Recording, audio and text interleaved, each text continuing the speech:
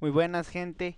Hoy vamos con una nueva hipótesis, una que estaba guardada desde mucho tiempo y ya me quería deshacer de este papel. Así que ahí vamos. ¿Qué hubiese pasado si el atacante lo tenía Medio Oriente?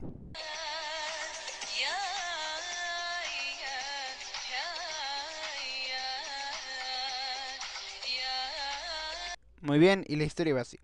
Mientras que el martillo de guerra se apoderó de seis de los nueve poderes titánicos y los entregó al Marley, empezando por el titán Hembra, que tras lograr atraparlo, lo usaron para atrapar al Mandíbula, que usaron para atrapar al Colosal, con el que lograron vencer al titán Simio, con el que lograron obtener al acorazado y al cuadrúpedo. La coordenada huyó a una isla. Y el atacante, pese a luchar por su patria, otras naciones como Medio Oriente también ansiaban un poder titánico. Así que con sus poderosas armas vencieron a la tribu de Kruger y la exiliaron, ahora teniendo Medio Oriente el poder del atacante. No usado tan ocasionalmente, usado más en momentos de guerra.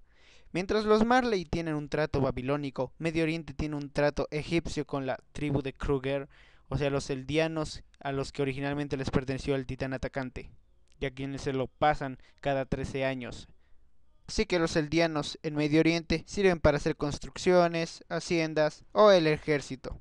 Entonces, un hombre de la tribu de Hunter es elegido para ser el titán atacante. Y ocurre una pequeña rivalidad o guerra con Marley, donde quien consigue la coordenada primero.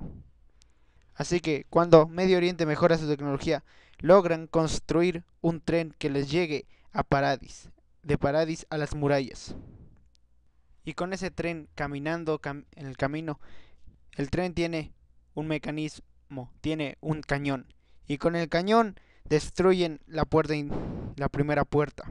Entonces, quien es actualmente la atacante se transforma, entra por el hueco y grita asustando a la gente. Ahí se infiltra mientras Medio Oriente regresa. La noticia del infiltramiento de el Medio Oriental en las murallas llega a Marley, quienes molestos no dejan pasar la oportunidad para atacarlos, y envían a sus guerreros a las murallas para poder de cierta manera obtener dos poderes ahora, de una, de golpe. Robarle el poder a su más grande rival. En el camino, Marcel muere. Bertolt y Annie llegan para ver el muro destruido. Ahí Armin ve y se refugia con su abuelo. Pasan cinco años. Armin Arlet se une al ejército y, llega al cuerpo de exploración.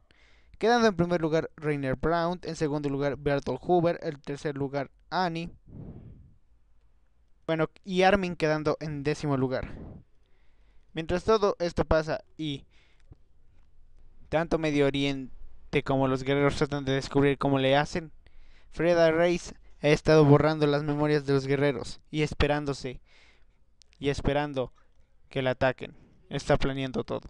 Hasta aquí esta parte, nos vemos en la siguiente. Escriban lo que crean que puede pasar en la siguiente parte si es que alguna vez llega a tener una secuela. Chao, chao.